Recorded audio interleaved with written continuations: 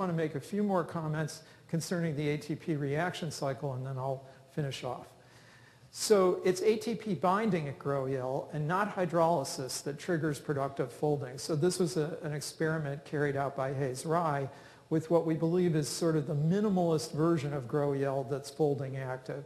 So a single ring version of GRO-EL that's mutant in such a way that it can bind ATP and thus bind GRO-ES. I haven't really uh, directly mentioned, but I hope that some of those EM images support that you have to have ATP binding first to move the apical so the GRO-ES can bind. Uh, and here he's recruited GRO-ES to a Rubisco-bound ring, and what he observes is that he can produce the native uh, state of Rubisco efficiently in this capacity without any ATP hydrolysis. Uh, moreover, Charu Chaudhry, who's also here at this meeting, showed that the gamma phosphate is absolutely crucial to this action. Uh, with ADP, you can produce a dome chamber. So you can bind polypeptide to SR1, for example, and then add um, ADP and GRO-ES, and you get an encapsulated polypeptide. But it's stuck on the cavity walls and it never reaches the native state. But simulating the addition of uh, the gamma phosphate, either by adding aluminum fluoride or beryllium fluoride, what Charu observed was suddenly you restore the normal kinetics of refolding.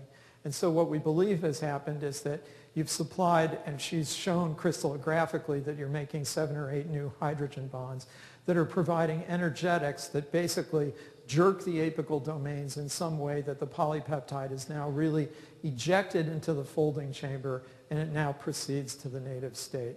So um, there's a power stroke, we believe, here that's involved uh, of movement of this machine that's necessary uh, in a concerted way to eject the non-native polypeptide off the binding sites uh, into the chamber where it can fold to the native state. So here's the overall look at the reaction cycle, and I'm going to show you this in a movie in just a second. But the idea is that uh, a polypeptide can bound to a non-ATP occupied ring, but recent experiments that Navneet has carried out show that uh, ATP always wins the race to an open ring. So uh, ATP, it, it's binding tenfold faster than non-native polypeptide. So polypeptide is normally coming on to an ATP-bound ring. Um, maybe there's an advantage there that the apical domains are starting to move. They're more flexible. They're breaking apart from each other. Uh, and so it's easier to see non-native structure. Uh, but then, of course, you reach this RS open state that we've just described, which recruits GRO-ES, and now this gigantic conformational change occurs that produces the domed folding chamber. So this is the longest lived state of the reaction cycle uh, with a t-half of about eight or nine seconds or so. At the end of that time, hydrolysis occurs in the cis ring, and I haven't mentioned this, but there's anti-cooperativity between the GRO-ES rings, such that when there's ATP bound to one ring, there's nothing on the other ring. So once hydrolysis occurs here in this cis ring, it gates entry of ligands into the opposite ring. So ATP will bind and non-native polypeptide will bind. But ATP is really the key operative in ejecting the ligands from the cis ring. It sends an allosteric signal, the nature of which we still don't completely understand, that ejects GRO-ES, ejects non-native polypeptide or native polypeptide if it's made it to the native state in the 8 or 10 seconds, and ultimately ADP as well. Uh, and so uh, native polypeptides obviously won't come back to the machine, but non-native or uncommitted states can really compete for any of the chaperones, for example, in the bacterial cytosol. Um, uh, it's a kinetic partitioning, we believe, but they certainly could come back to GRO-EL and have another try. But meanwhile, on the other ring, binding of ATP and non-native polypeptide basically sets up a new cis folding chamber, and now this ring becomes folding active. So with a single round of ATP, you at once eject the old folding active ring and nucleate a new folding active ring. And so now I want to just show you this film that basically connects the dots of all the crystal structures and all the EM structures we have to date uh, and just gives you a general idea of how the machine uh, operates. So now you're looking uh, at a single subunit here for its three domains. Then you're going to look down the barrel of the machine, but remember it's blocked off at the equatorial levels. But all this yellow at the, at the terminal end is the hydrophobic polypeptide binding surface.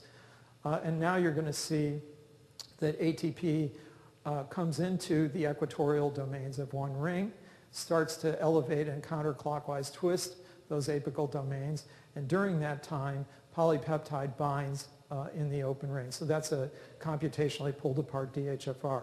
Now you get to RS open, GRO-ES docks through its own hydrophobic surfaces. You get this huge uh, elevation and uh, uh, rotational movement, and now polypeptide chain folding occurs in a, what we believe is a passive chamber. And at the end of 10 seconds, hydrolysis occurs. The free phosphates come out, gate entry of ATP into the opposite ring. Its arrival starts to discharge this ring, but at the same time sets this ring up as being folding active. So here come the ligands out of the cis ring, folded polypeptide, ADP is last to leave, and this ring now becomes folding active. So I just want to show you this in a more real-time situation so that you can see that the machine really spends most of its time in a folding active state and transits one ring to the other uh, on the time scale of really only about a second. It's a really very quick transition. So this will show you now folding in the top ring. And then you're going to basically see all hell break loose and, and suddenly the trans ring will become, become the folding active ring. And so on the time scale of about a second, all the conformational changes occur. And now this ring becomes folding active. So I want to stop there um, and acknowledge that a huge number of people have contributed to this work over all these years. So within my own group, there are roughly 30 people who have contributed, and I don't have time to really name everybody. I've tried to mention uh, some of the main uh, advances by uh, a number of these people. But I've also been lucky with my Yale colleagues, nearly 10 of which have been willing to collaborate with me over the years and help this project forward. Outside Yale, uh, nearly 35 different people have collaborated with us over the years and been wonderful to work with. That's been part of the really just major joy of, of working on this machine is collectivizing with people and, and getting new ideas about how things might work. Uh, and finally, there's my own gang at home that put up with all of this. Uh, my son Mike, my daughter Annie, Mikey's wife, and little Dave, and my wife Martina. This is us in Yellowstone Park uh, several years ago. It's hard to get everybody together at this point, um, but we've really had a lot of fun at home even while all of this has been going on. So I thank you again very much for the opportunity to present this work, uh, and thanks once again.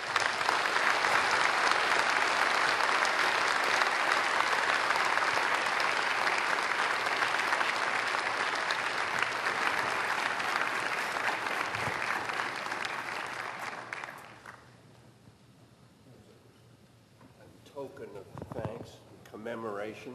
Thank you. Thank you very much.